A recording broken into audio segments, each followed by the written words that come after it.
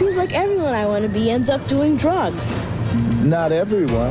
Huh? Come on in. You'll see what I mean. I'm living problem free. I'm the best that I can be. Take a look at me. I'm drug free. Yo, Dad, you're not gonna mow the lawn just like that, are you? Mm, why not? I always dress like this to mow the lawn.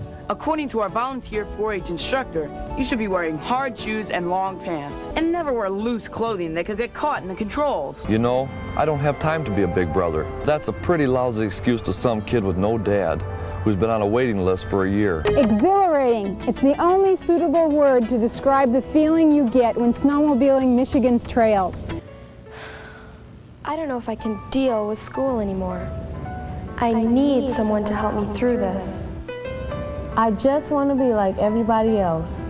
Doesn't anyone understand me? You wanna be a winner. You wanna stay that way. It would really be awesome if I could get a job. I wish I had someone to show me how. When I grow up, I'm going to be a firefighter.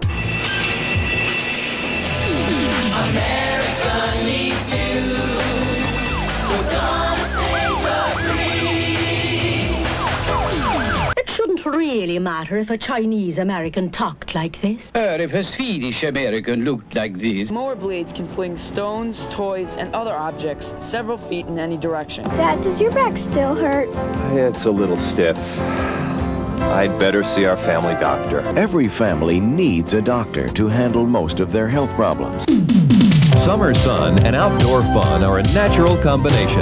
This summer, why not use good sun sense to protect your skin? Well, son, you've convinced me. Put the tractor back in the garage. After you finish mowing the lawn.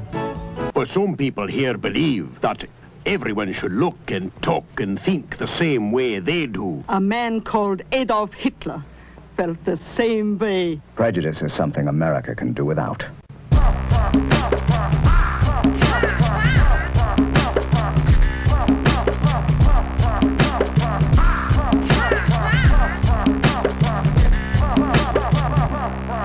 One, two, three, four, five, six. Whitey, we got big.